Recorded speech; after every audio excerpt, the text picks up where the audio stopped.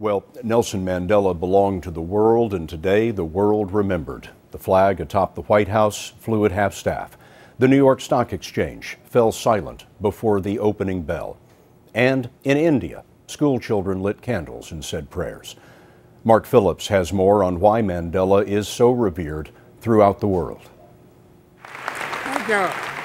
As much as the years could diminish Nelson Mandela's body and perhaps in the latter stages of his life his mind, that it is useless they couldn't diminish the man. For us to continue talking peace and nonviolence. There aren't many politicians, especially ones engaged in battles as bitter and complex as the ones he fought, who left such a clean battlefield. Africa!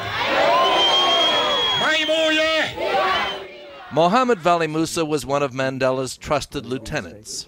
What's so remarkable is that Nelson Mandela is now everybody's hero. Everybody loves him, blacks and whites. Everybody loves him. Nelson Mandela's story was South Africa's story.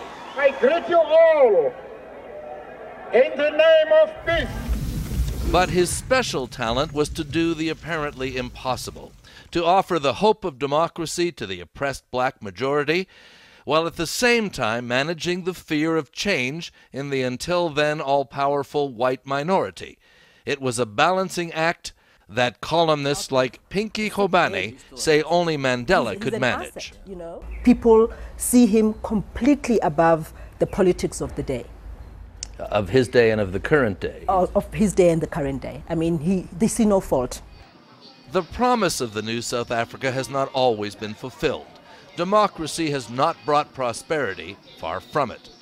Nelson Mandela is revered for more than simply being the father of the new South Africa. He represents a simpler time when the distinctions between the rights and the wrongs were more clearly defined. After two decades of democracy here, things are a lot murkier now. South Africa's current leadership under President Jacob Zuma is wallowing in a storm of allegations of corruption and mismanagement. We've been very saddened by the, the, the deaths of all these stalwarts. Of his generation? Yeah, of his generation. And every time they go, we have this deep sense of sadness and loss because they, they are in a different mode. We don't see this crass materialism that we see today. South Africa will be burying more than a man. It will be burying some of its dreams. Mark Phillips, CBS News, Johannesburg.